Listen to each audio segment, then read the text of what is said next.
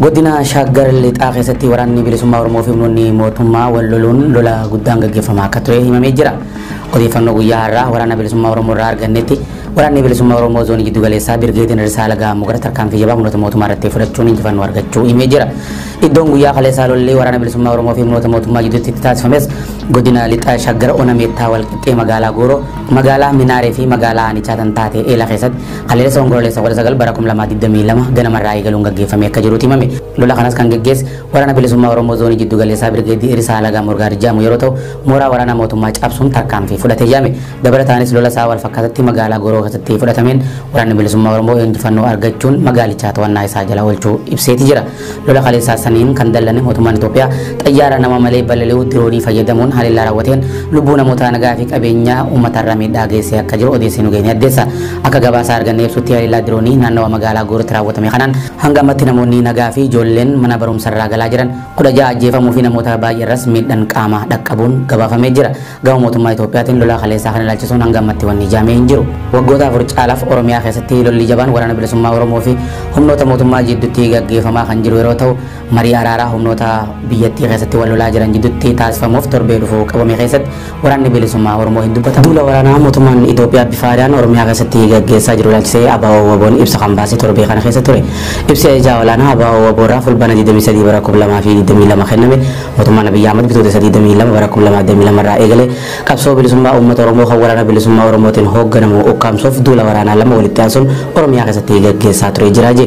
Duula kana keessaa inni jalqaba waxabajjii kudhan bara 2022 xumuramuu kan ibse Abaawoo Waboon waraanni mootummaa humna idilee fi caasaa milishaa dhibbootaan lakkaa'aman aanaalee lixaa kibbaa fi gidduu galeessa oromiyaatti yakka raawwachaa turanii jiru je kanaan wal qabatee waraanni bilisummaa oromoo waxabajjii kudha afur kum lamaa fi digdamii lama gaambeellaa gimbee fi dambidoolletti duula guyyaa lamaaf gaggeeffamaa ture. Kan duula waraana mootummaa danqee fi sirnichi yeroo lammaffaaf akka duulu dirqisiisee gaggeeffamu hime.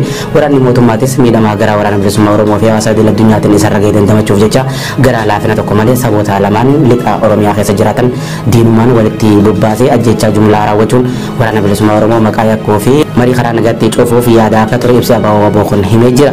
Ajjechaa kana hordofuun sirnichi duula isaa lammaffaa waxabajii 23 bara 2022 kan eegale yeroo ta'u irra caalaa raayyaa ittisa biyyaa Itoophiyaa fi hidhattoota naannoo Amaaraa irraa dhufanitti fayyadamuun lamaan isaaniitu humnoota lafaa fi humna qilleensaa bifa leellaa diroonii fi qawwee helikoophteraatiin sirnichi humna waraana bilisummaa Oromoo buqqisuu fi naannoo inni qubatee jiru gallakkisuuf yaalii akka ture ibse.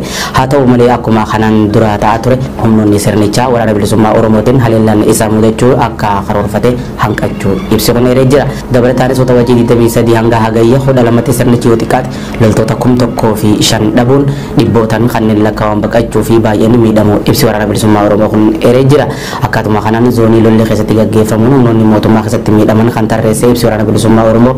Waxabajii 23 hanga hagayya kudha lama bara 2022 jidduutti zoonii giddu galeessaa 176 zoonii bahaa 5 zoonii kibbaa bahaa kudha lama zoonii kibbaa 416 zoonii lixaa 396 waliigalatti kumni tokkoo fi shan akka ta'e waraanni bilisummaa Oromoo ibsee jira. Waraanni bilisummaa Oromoo baha Oromiyaa Harargee lixaa keessatti humnoota mootummaa waliin lola gaggeessuu isaa odeessi BBS dhaqqabee ni ibsa.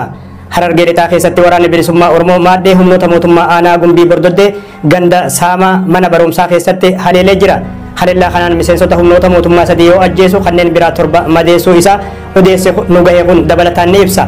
Humni waraana bilisummaa oromoo tooftaa riphxee loltummaa fayyadamuun mooraa waraanni mootummaa qubatee ture haleeluun miidhaa geessisee jira erga haleellaa kana raawwatee bakka irraa dhufetti kan deebi'e yeroo ta'u humni dabalataa naannichatti bobbaafamee jiru uummata nagaa goolaa akka jiru odeessi kun ni ibsa waraanni bilisummaa oromoo haleellaa kanaan maaddee humnoota mootummaa erga barbadeesseen booda meeshaalee waraanaa hedduus booji'uu isaa odeessi wal qabatee nu dhaqqabe ni ibsa mootummaan Itoophiyaa fi bulchiinsi mootummaa naannoo oromiyaa akkasuma kan harargee lixaa haleellaa waraana bilisummaa oromoo kanarratti ibsa laatan hin qaban waraanni bilisummaa oromoo ona carcar keessatti yeroo garagaratti humnoota mootummaa waliin aanaalee mi'eessuu fi gumbii bordoddee keessatti wal lolaa akka jiru gabaafamaa jira. Waraanni bilisummaa Oromoo Cibraan Elemoo Qilxuu godina Harargee lixaa aanaa Odaa Bultuum laga Saaqataa Araddaa Saglii Jaamtutti humnoota mootummaa irratti tarkaanfii fudhateen loltoota jaha ajjeesuu beeksise.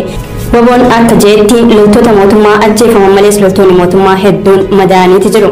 Cibraan Elemoo Qilxuu tarkaanfii humnoota mootummaa irratti fudhatu cimsee akka itti fufu himeeti jira.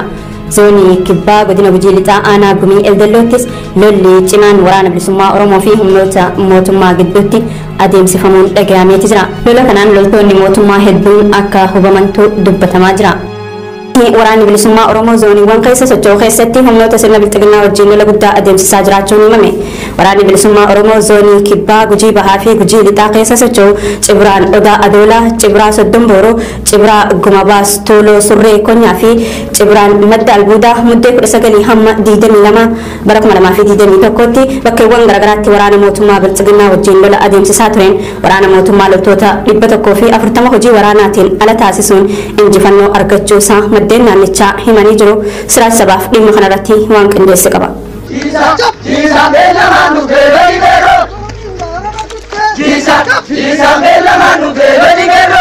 Waraanni bilisummaa Oromoo zooniiwwan keessa socho'u keessatti humnoota sirna bilisiginnaa wajjin lola guddaa adeemsisaa jiraachuun himame. Waraanni bilisummaa Oromoo zoonii kibbaa gujii bahaa fi gujii lixaa keessa socho'u Cibraa Odaa Adoolaa, Cibraa Soddombooroo, Cibraa Gumaa Baastuuloo Surroo Koonyaa, Cibraa Madda Albuudaa Muddee 19 hamma 22 bara 2021 bakkeewwan garaagaraatti waraana mootummaa bilisiginnaa wajjin lola adeemsisaa turen waraana mootummaa loltoota 140 hojii waraanaatiin ala taasisuun injifannoo argachuu isaa maddeen naannichaa himanii jiru. Zoonii kibbaatti waraanni bilisummaa Oromoo godina gujii bahaa keessa socho'u Cibraan Odaa Adoolaa muddee 22 bara 2021 aanaa Adoolaa ganda Abbullooru keessaa keessatti lola cimaa humnoota waraana bilisiginnaa wajjin adeemsisee jira. Haaluma wal fakkaatuun Cibraan Soddombooroo muddee 19 bara 2021 magaalaa Nagellee iddoo Keellaa Dooloo jedhamuttii fi aanaa Liiban kaampii loltoota sirna bilisiginnaa ganda Daaroo Salaam jiru irratti haleellaa raawwatee loltoota sirna bilisiginnaa 20 ajjeesuun soddoma madeessuun odeeffannoo mul'isu OMN dhaqqabee jira. Kan socho'u Cibraan Gumaa Baastuuloo Surroo Koonyaa lola waraana bilisiginnaa wajjin aanaa galaanaa ganda dhametti muddee 21 bara 2021 adeemsifame loltoonni bulchiinsa Abiyyi Ahmad 22 yoo dhuman kudha sadii ammoo madaa'anii jiru. Gujii lixaa keessa kan socho'u Cibraan Madda Albuudaa Buttaan Baddaamaa Gadaatii fi Malkaa Sodaa waliin ta'uun aanaa qarcaa ganda gurraachaa keessatti haleellaa loltoota mootummaa bilisiginnaa irratti fudhataniin 31 ajjeesuun 22 ammoo akka madeessanii mameetii jira. Lola zoonii kibbaa godina gujii bahaa fi lixaa keessatti adeemsifame waraanni bilisummaa Oromoo meeshaalee waraanaa garaagaraa akka booji'as odeeffannoon arganne ni mul'isa. Sochii waraanaa waraana bilisummaa Oromoo humna waraana mootummaa bilisiginnaa jidduutti adeemsifamaa jiru ilaalchisuun itti gaafatamaan dhimmoota kominikeeshinii mootummaa naannoo Oromiyaa obbo Haayiluu Addunyaa ibsa muddee 25 bara 2021 keessa kenneen waraana bilisummaa Oromoo kan mootummaan isaanii ABO shanee jedhee waamu 1563 ol bakkeewwan garaagaraatti haleellaa irratti fudhachuu hime. Garuu loltoota isaanii kan waraanni bilisummaa Oromoo haleelee jedhee irratti waan dubbatan hin qabani. Oduma wal qabateen waraanni bilisummaa Oromoo Cibraa Elemoo Qilxuu baha Oromiyaa aanaalee Harargee lixaa keessa socho'u lola guyyaa sadiif waraana bilchiginnaa waliin gaggeessaa tureen injifannoo galmeessuu hime. Lolli kun aanaa mi'eessoo araddoota akka Dibaalaa, Ahadaahuu, Horaa, Kimteerii fi araddoota biroo keessatti gaggeeffamaa ture. Guyyaa kaleessaa muddee 25 bara 2021 ganama sa'aa lama irraa eegalee hanga galgala sa'aatii 12tti lola gaggeeffameen waboon waraana bilchiginnaa irraa loltoota 30 ol ajjeesuun 20 ammoo madeessee jiraachuu maddeen OMN dubbise dirree lolaa irraa himanii jiru. Lola kanaan ajajoonni dhibbaa dabalatee loltoonni hedduun kan booji'aman yoo ta'u meeshaa waraanaa hedduus waboon cibraa elemoo qilxuu hiikkatee jiraachuun ibsamee jira. Guyyaa har'aas muddee 26 bara 2021 lolichi itti fufee kan jiru yoo ta'u waraanni bilchiginnaa humna biroo birgeetii awaash irraa dabalachuun meeshaa waraanaa ammayyaa taankii fi kanneen biroo dabalatee garasitti duulaa jiraachuu ibsuun uummanni Oromoo karaa cufee humna diinaa danquun waboo bira akka dhaabbatu waamicha taasisanii jiru. Waraanni bilisummaa Oromoo tarkaanfii humnoota mootummaa irratti fudhachuu cimsee itti fufuu beeksise.